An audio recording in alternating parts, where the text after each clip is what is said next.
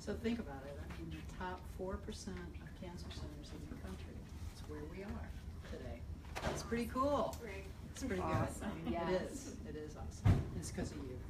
Thank you. Thank you very much. Thank you. Thank you. Thank Thank you. you.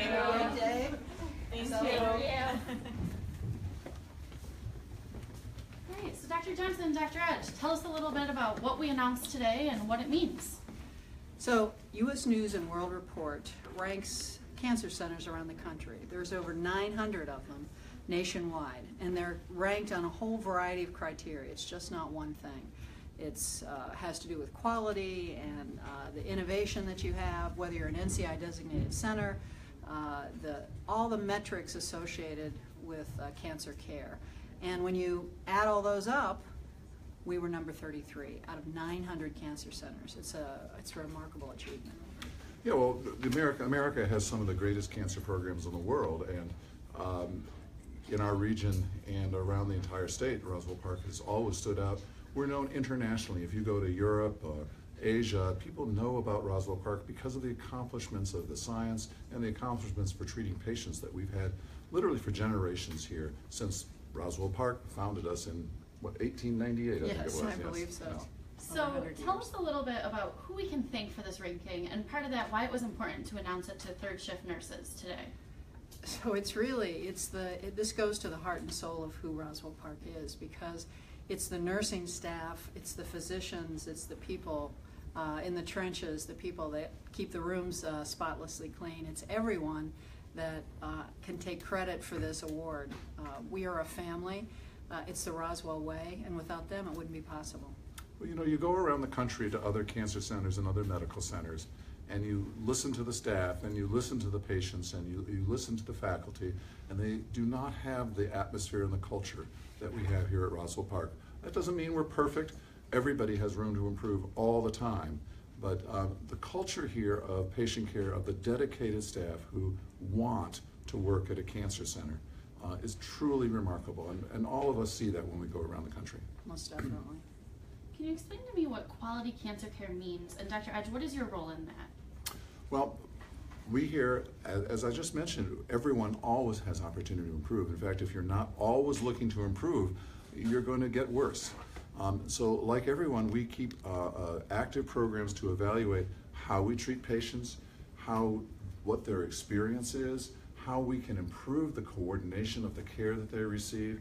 Um, and in addition, of course, we stay right on the cutting edge of new therapies. Uh, there was a drug just recently approved by one of our one of our neurosurgeons here, Dr. Fenstermaker, just had a drug approved uh, to treat uh, to treat brain cancers uh, just in the last week. Yes. Uh, and that's just one example of the kind of advances that come out of our scientists, in addition to the clinical care that we provide to people with cancer today. Great, thank you. So, what does it mean? You mentioned a few minutes ago that Roswell Park is NCI designated. What exactly does that mean for patients? So uh, the NCI has, uh, they have a criteria where they review cancer centers uh, for, on their excellence, their depth and breadth of clinical care, scientific excellence, and population science. And population science is epidemiology and, and community outreach and so forth. And so those three things are evaluated. They send, you, you put a, an application in that's about this thick, and uh, a site visit team of 25 people from around the country come and review you and they critique you on all those items and you get scored. And uh, it's very difficult um, to get nci designated but we've been nci designated since they started giving out the designation and we're just coming up for renewal again next year. So it's a very important thing and what it tells to patients is this is a place where there is cutting edge therapies available where they're going to give me the very best care. Uh, and you can be guaranteed of that, whether you go to this NCI designated center or one in New York City. Uh, that's why it's so important. It's right in our backyard. We have this incredible facility right in our backyard with these incredible nurses that are standing in front of me. So uh, we're a great place. Great. So, you mentioned New York City. Can Yes. you talk a little to where Roswell Park stands on this U.S. News and World Report list and how that compares to others in maybe the region or the area? Well, um, uh, there are, I think, two other centers in New York City who Yes. are on, on this list. But outside of New York City, in New York State, we're the only ones who are on this list. As, Uh, and that's, that goes along with our designation by the National Cancer Institute, which makes us a resource to the entire upstate community, uh, extending into Pennsylvania, Ohio, and of course, we have uh, relationships extending into Ontario for Yes, services that, Canada. that we provide uh, for uh, people who live in the, in the nearby regions in Ontario. So um, there are excellent centers in New York City, um, but outside New York City, um, uh, through this ranking, we're really, we are now the only ones in New York State other than, other than um, Memorial Sloan Kettering, of course, Yes. and, uh, and I'm blocking on who the, Columbia. Columbia Yes. is the other, the other site in New York City. It's exciting. It's very, Very exciting. exciting. So, And there are other cancer centers in New York City. They're just not uh, on Mhm. US News. So it's a very, it's very distinguishing that we made this list. Mhm. wonderful. So, if you can put yourself in someone's shoes when you're diagnosed with cancer, it's very scary. There's a lot of numbers. There's a lot of information out there. What do you? What's your advice on how they should kind of start that search and what metrics they should look at? Well, when somebody gets diagnosed with cancer, uh, you said it's very stressful, and the, the, the knee-jerk reaction is to do something now. Um, but there, people are better off stepping back, taking a deep breath, and really assessing what they're doing. There are very few situations with cancer that are a true, oh my gosh, I must be treated today emergency. And it's better to make sure you get careful evaluation of your situation. Frequently, that means getting a second opinion. Uh, we talk about coming and spending a day here uh, just to get that second opinion, even if you choose, because of distance or other reasons, that you're going to be treated elsewhere. Uh, I know I saw that with a relative of mine 15 years ago in Los Angeles who was clearly going down the wrong path. And the insurance companies are very tight in Los Angeles, and they allowed her one visit at a cancer center, but that one visit at UCLA completely changed the ship, and I'm pleased to say that she's alive and well uh, right now in Los Angeles from what was a very bad breast cancer. Wonderful. That's great to hear. Mhm. So we had two other um, things kind of rank on this list: urology and lung cancer surgery. What did we find out about them? Well, um, we have many excellent services across the board, but the U.S. News uh, will um, rank some of those as a high performing in a certain specialty based on some of the data they, that they are able to look at. And the, urology service here and the lung cancer service here are two of our very busy services. Um, we actually have both in the medical oncology or uh, uh, treatment with drug aspect of cancer, and in surgery and in radiation, we have some really forward-thinking people in America. Right here uh, in Western New York, the urology team with uh, under Dr. Mohler and Dr. Guru, uh, working with um, uh, robotic prostatectomy, were some of the pioneers. Now with robotic bladder removal, are some of the great pioneers. Not only treating people here, but establishing standards around the world uh, to, to treat them. Dr. Mohler, for instance, is the chair of the National Guideline Panel on Prostate Cancer. Dr. Guru has established a uh, bladder cancer uh, a program that's being used around the world right now. Uh, similarly, in our medical group in urology, we have uh, people who are some of the forward-thinking people in new drugs that, that will uh, develop. Dr. Chatta and his group in the Department of Medicine. Uh, similarly, in radiation oncology under Dr. Kuettel.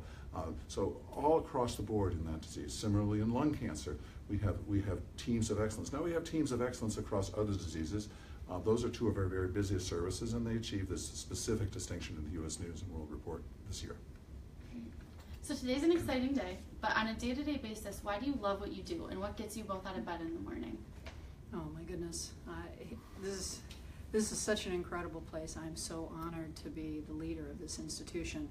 Every day, I can hardly I I'm in uh, I, I I come into work and I can hardly hardly believe that this is my actually my job. I actually get to do this, and so I'm proud to be here. I'm very proud today. I'm proud of everybody at Roswell Park and what they do.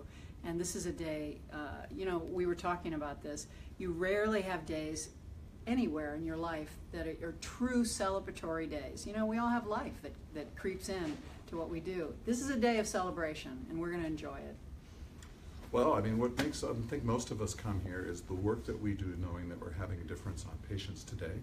I mean, the people, um, you know, it's six in the morning, so the patients aren't aren't up very much right now. But and we've got most of the doors closed, so we're not waking them up. I hope.